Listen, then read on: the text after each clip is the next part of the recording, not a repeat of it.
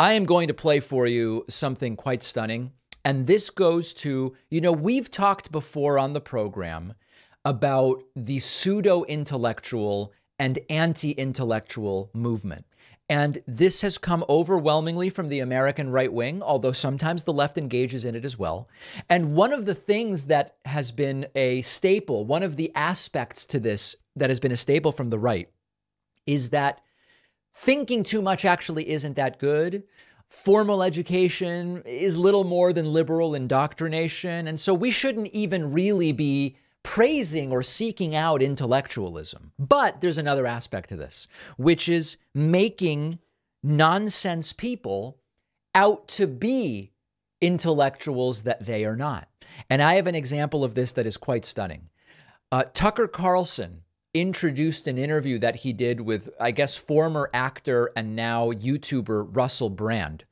Tucker Carlson refers to Russell Bland, Bland Russell Brand as a public intellectual. Now, I know, I know that will come as a shock to many of you. But what is stunning is that then Russell Brand proceeds to rant completely unintelligibly about COVID for five minutes, and Tucker just sits there looking dazed. Take a look at this. There, there is a lot that I want to talk about from this clip. Let's listen. So, as we told you, we sat down yesterday with Russell Brand, the comedian, actor, and now, frankly, kind of a public intellectual for about an hour and a half on our show, Tucker Carlson, today. We want to share more of it tonight. In particular, Brand spent a lot of time thinking about and telling us about the COVID Thinking. lockdowns. Yeah. And the point Russell has thought about it a lot. of them was maybe the clearest explanation we have heard of what we've just lived through. Here it is.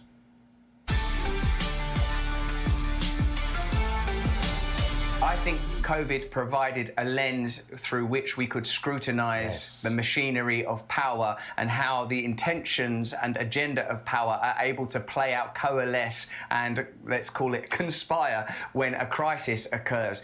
Now, remember, there's two things here that might trick right wingers into thinking that this is deep thought. One is that for the American audience, you know where I'm going. Russell Brand speaks with a British accent, and that actually is quite an effective tool. This this applies both to left and right. I hate to say it, into making it sound like someone is actually speaking quite intelligently. Uh, the other thing is that he is only feeding back to a lot of the, the these right wingers the things they already believe. A tendency, a globalist tendency to increase surveillance, a big tech appetite to capture data, and a comparable appetite within government converge. As the great American comedian George Carlin used to say, there is no need for conspiracy where interests converge. It seems that even if at its advent it was a legitimate crisis, and I certainly wouldn't make any contention around that, it was opportunistically handled in order to enhance regulation and control at a time where regulation and control are increasingly difficult to implement as people are more suspicious of institutional power. So, in a sense, the best way to understand COVID, I believe, is to take COVID out of it and look at how the institutions, both Ignore COVID to understand COVID. And government, behaved around it. Pretend almost like there was no COVID and then be like, well, none of this stuff made sense if you remove COVID from it. Right. Well, but there was COVID. How did they benefit? How did they utilize it? What narratives did they uh, disseminate and which narratives did they control and curtail? Even with the recent text messages from our health minister at that time, Matt Hancock, you can explicitly see it was exploited. Oh no, we need to scare people. Is there any way high net worth individuals can get into the country? All these conversations that many people that are cynical about the behavior of the powerful believed were happening were indeed happening. The way that natural immunity was discussed proved to be true, i.e., that natural immunity is effective. They probably understood earlier than they admitted that natural immunity was effective, and for reasons that, well, what Note the use of the word probably. what could it be? What could be the reason that a monetizable solution to COVID was prioritized over a non monetizable? Is there anyone involved in the situation? Well, one interesting aspect to that would be the dramatically higher death rate of people who got COVID rather than uh, unvaccinated versus people who got COVID vaccinated. That would be one interesting reason why you would prioritize the vaccination program. that has a profit motive. Let's look at the data. And like, you know, so what it, it was just revelatory, like the apocalypse always will And and remember, Tucker Carlson hasn't said a word. We're two minutes in. The apocalypse is revelation.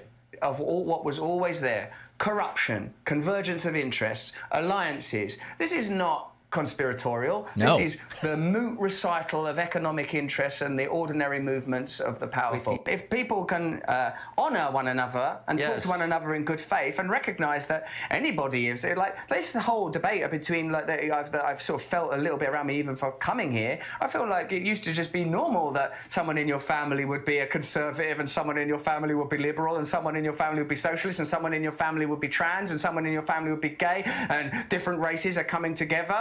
It's, this is part of who we are, and if it isn't a part of who we are, it's certainly Okay, so this goes on and on and on and on and on. Okay, so a couple different things here. First of all, most of the things that Russell is saying actually just aren't true. And if you really kind of dissect all of this different stuff, you see there's really nothing there. But I want to zoom out and, and talk about this this the framing that Tucker Carlson gave of saying that Russell Brand is now he's a public intellectual, quite frankly. I think it was is what Tucker Carlson said. Now, what do we mean by a public intellectual?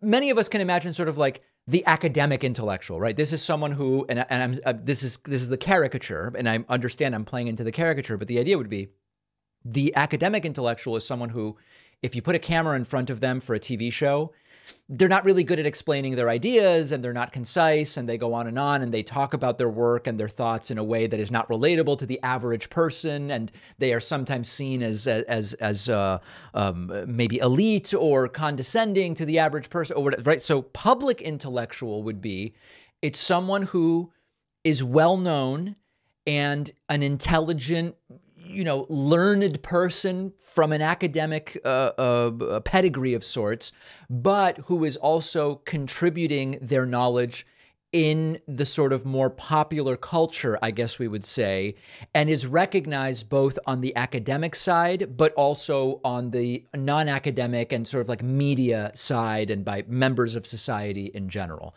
So, obviously, by that definition, Russell Brand is not a public intellectual, but the bigger story here for me is I've said before, you know, sometimes Marjorie Taylor Greene will rant somewhere, and I will say to you all, a lot of a lot of the American right wing sees her as a thinking person. And Lauren Boebert will rant, or you know, uh, Ted Cruz will make some statement about a legal precedent during a hearing. And I will say there are a lot of people in the U.S. on the right who see that as what it means to be a thinker. And of course, Russell Brand is very far from really what I would consider to be public intellectuals. Now, public intellectuals today do look and sound a lot different than at times past. So I'll give you some examples of people that I do think are, are sort of public intellectuals. One that comes to mind, and I was just recent listening to some of his podcasts, and, and that's why he's on my mind Cal Newport. Cal Newport is a PhD computer scientist who teaches at Georgetown. He's been on the show before, who writes both for academic audiences and for general audiences about the sociocultural impacts of technology um, and and so many other things. He's written articles that would be really for an academic audience, and he's also written great popular books like Deep Work and A World Without Email and others that to me makes a lot more sense as like a modern public intellectual. And when you when you listen to cal's podcast you realize wow this is a very different thing than russell brand. Cal doesn't have a british accent. I will mention that.